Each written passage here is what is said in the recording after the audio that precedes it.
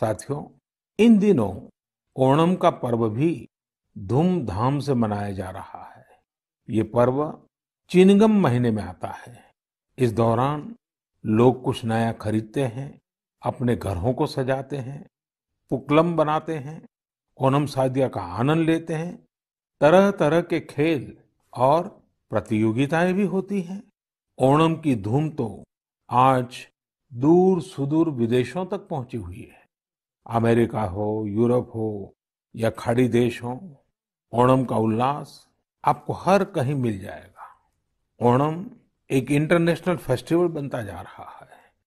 साथियों, ओणम हमारी कृषि से जुड़ा हुआ पर्व है।